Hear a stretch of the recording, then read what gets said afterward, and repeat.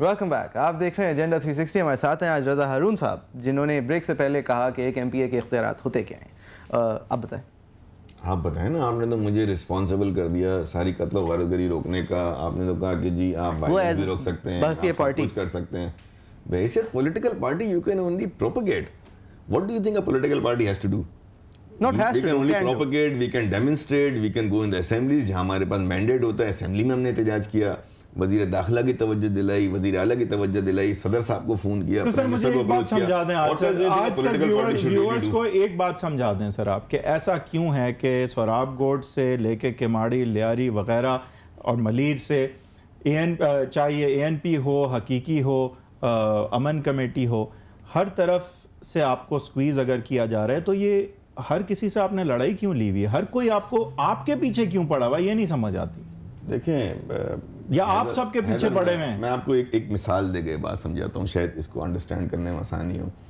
دیکھیں M Q M کا جو پولیٹیکل آئیڈیالوجی ہے وہ اس وقت پاکستان کی تمام سیاسی جماعتوں سے ذرا مختلف ہے۔ جو چیز ہم پریزنٹ کر رہے ہیں جو چیز ہم ڈیمنسٹریٹ کر رہے ہیں وہ مڈل کلاس لیڈرشپ کی جو ہے وہ تصویر بن کر اور مڈل کلاس لیڈرشپ کی آواز بن کر ہم سامنے آئے ہیں۔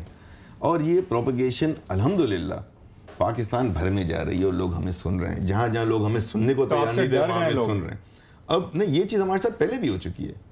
ہم نائنٹی ٹو میں اسی دور سے گزرے نائنٹی ٹو میں کیا ہوا تھا ایسا جو کہ ایم کے میں خلاف ریاستی آپریشن شروع ہو گیا؟ نائنٹی ٹو میں یہی ہوا تھا کہ ایم کے ایم نے لاہور اور پنجاب میں جا کے کام کرنا شروع کر دیا تھا اور وہاں سے ہمیں بڑی اچھی سپورٹ ملنا شروع تو وہاں مارتے آپ کو یہاں کیوں سب مار رہے ہیں؟ سر ہمیں تو وہیں پہ مارجنلائز کریں گے نا لیکن سر اختیار ہے ہی نہیں اس وقت پی ایم ایل این کے پاس۔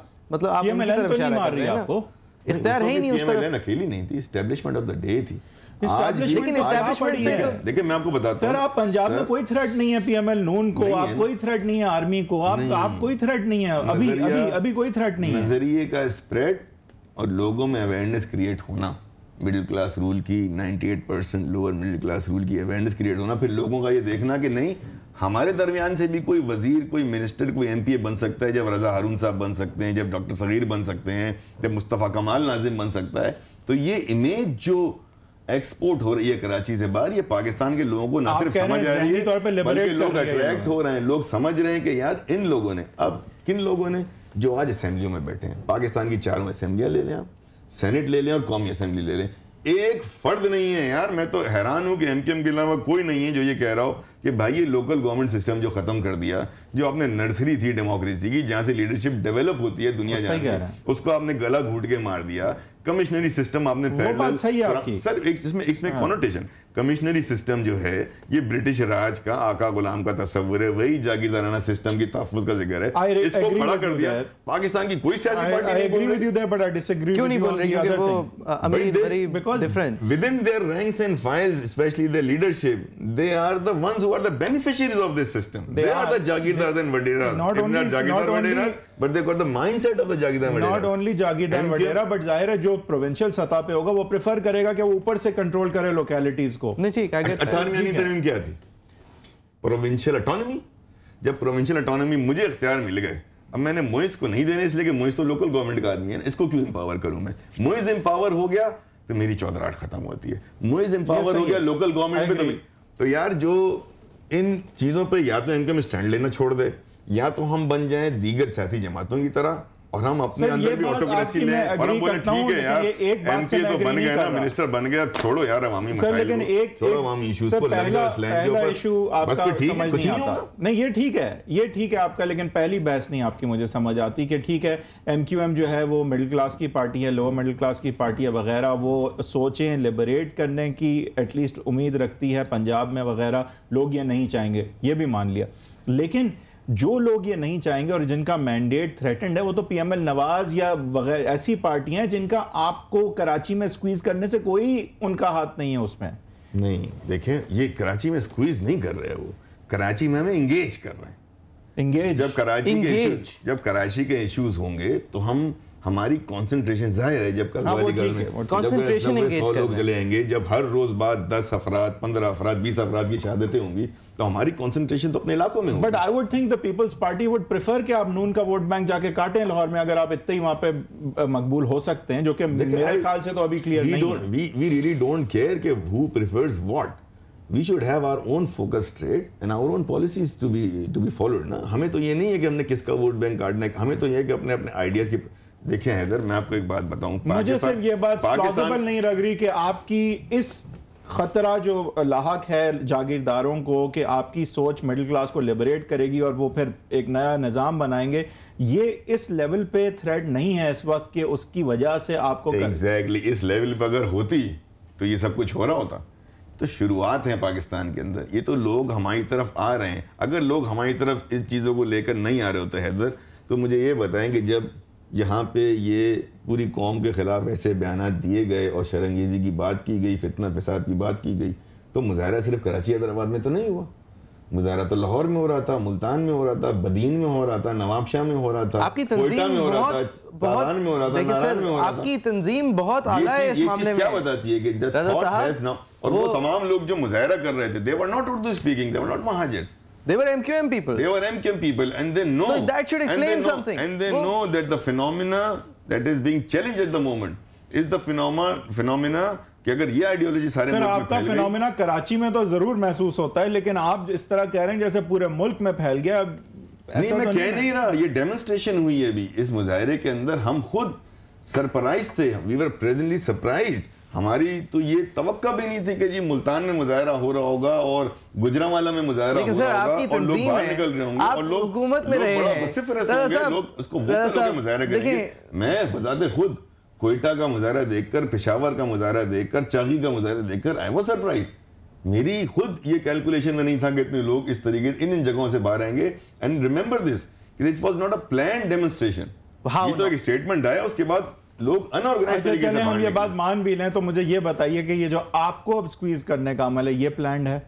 یہ تو ڈیفینیٹلی کون پلان کر رہا ہے؟ کس کی کنسپریسی ہے؟ کون اس کے پیچھے سر دیکھیں میں تو بڑا اس کے اندر بہت کلیئر ہوں کہ اس کے اندر وہ لوگ تمام لوگ شامل ہیں۔ جو ایم کیو ایم سے بہت بری طریقے سے خوف زدہ نام بتائیں۔ دیکھیں نام اب میں آپ کے پروگرام میں کیا بتاؤں؟ آپ لوگ ماشاءاللہ میڈیا کے لوگ ہیں آپ لوگ کلپس چلا سکتے ہیں کہ کن لوگوں نے کیا باتیں ہمارے آپ بتا دیں کہ کلپ چلانے ہم چلا دیتے ہیں؟ چلا دیں گے۔ کون ہے؟ چلا دیں آپ چیمبر آف کامرس کی کلپ چلا دیں آپ آپ مردانہ ہاؤس والی کلپ چلا دیں۔ آپ کہنا آپ اور کتنی کلپس میں بتاؤں؟ آپ آپ چابی میرے جیل میں کی کلپ چلا دیں۔ آپ تمام کلپ چلا دیں۔ سر ذوالفقار مرزا صاحب ایک آدمی پھر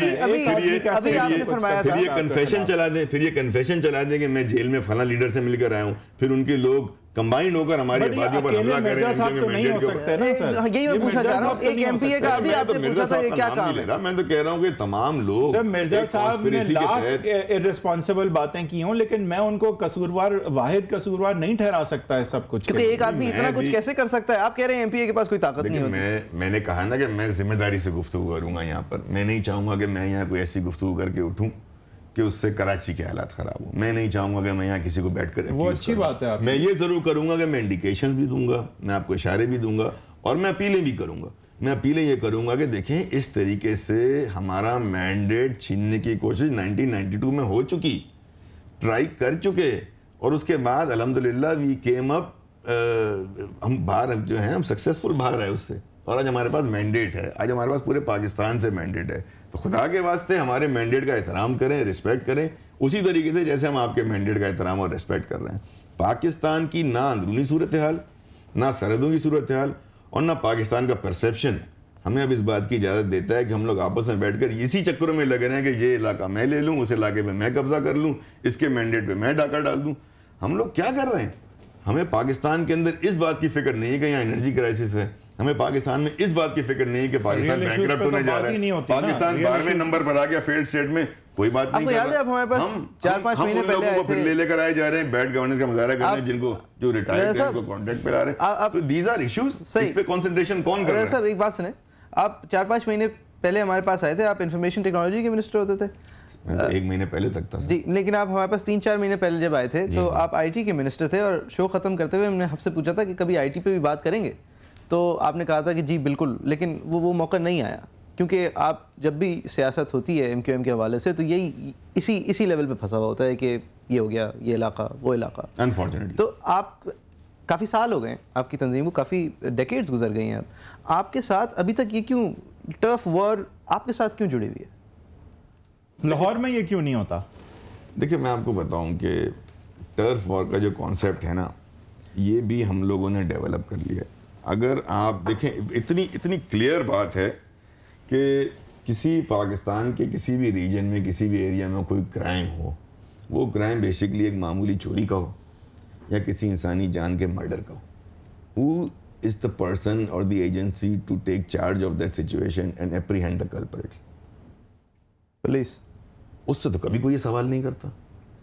شرجیل میمن صاحب شرجیل؟ محمد ناٹ پولیس سنیں میں آپ کو بتاتا ہوں پچھلے سال پچھلے سال اسی شہر میں چیف منسٹر ہاؤس کے اندر چھ اگست دو ہزار دس تمام سیاسی پارٹیاں بیٹھیں۔ پرائم منسٹر صاحب یہاں موجود تھے، فیڈرل انٹیریئر منسٹر موجود تھے چیف منسٹر صاحب موجود تھے، گورنر صاحب موجود تھے۔ اور ہم تین پارٹیوں نے جن کے لیے کہا جاتا ہے کہ جناب ان کے لوگ ٹرف اور اور فلاں اور ڈھمکا ہم نے سائن کر کے دیا پیپر پہ کہ جی یہ Raza Haroon from M Q M Rashid Rabbani from Peoples Party and Afrasiab Khattak from A N P in the presence of prime minister C M federal interior minister and governor Sindh anybody involve arrest them apprehend them we will not come forward کیوں رکا ہوا ہے اس کو؟ ہمارا تو دستخط شدہ paper ہے وہ دستخط سائنڈ تو آپ کہنا چاہ رہے ہیں کہ کیونکہ آپ نے دستخط ایک پیپر پہ کر دیا ہے لہٰذا اب آپ لوگ کچھ نہیں کریں گے۔ یار وہ کیوں نہیں کچھ کر رہا ہے؟ اس کو کرنا ہے۔ نہیں رضا صاحب یہ ایک بریک کی بات ہے۔ یار دیکھو نا یار۔ How can you how can دیکھیں نا ہماری ڈیبیٹ کا نہیں پلیز بریک تھوڑی دیر۔ ہماری ڈیبیٹ کا محور جو ہے نا دو سیاسی پارٹیاں اور ٹرف اور یہ تمام چیزیں بن جاتی ہیں اور ہم بڑے آرام سے ایگزونریٹ کر دیتے ہیں اس بندے کو، اس ڈپارٹمنٹ کو جس کا یہ کام ہے۔ اس سے بلا کے بٹھا کے پوچھیں گے، بھائی، تیرے کو کس نے منع کیا ہے؟ بتاؤ نا ٹی وی پر آگے۔ ایک بریک کے بعد رضا ارون صاحب اس پہ بات کریں گے کہ یہ ذمہ داری کا تعین جو ہے، اس میں پولیس اور حکومت وقت کا کیا رول ہے، لیکن بریک کے بعد رضا ارون کے ساتھ۔